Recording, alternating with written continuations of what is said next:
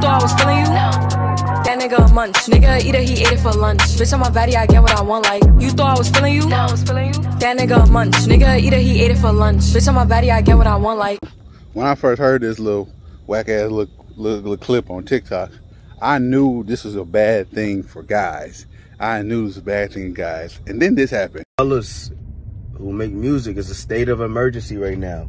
We need badly, we badly need a catchy song right now. Cause it be should be it should be no reason I'm moving around and I'm just in my head like I'm F R E E nigga free. I don't, I ain't gotta worry about no nigga. It should be no reason why I'm bumping that. That's why that's the song in my head.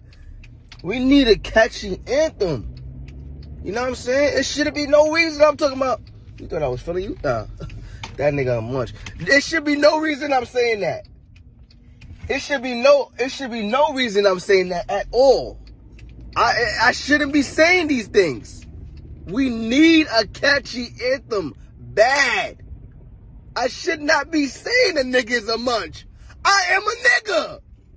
I shouldn't be saying these things. So of course, I got the best of me and I started digging around.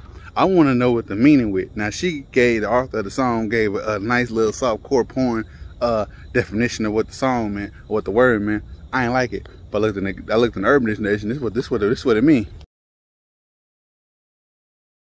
If you a female, if you a female, and you cool with me, and you sing the song, and your coolest voice around me, I'm punching in the throat. I'm calling my cousin who got a lot of drama, a lot of pain in her past, and I'm gonna tell her to hit you with a car with her fist. And that's how it is from now on, I'm telling you.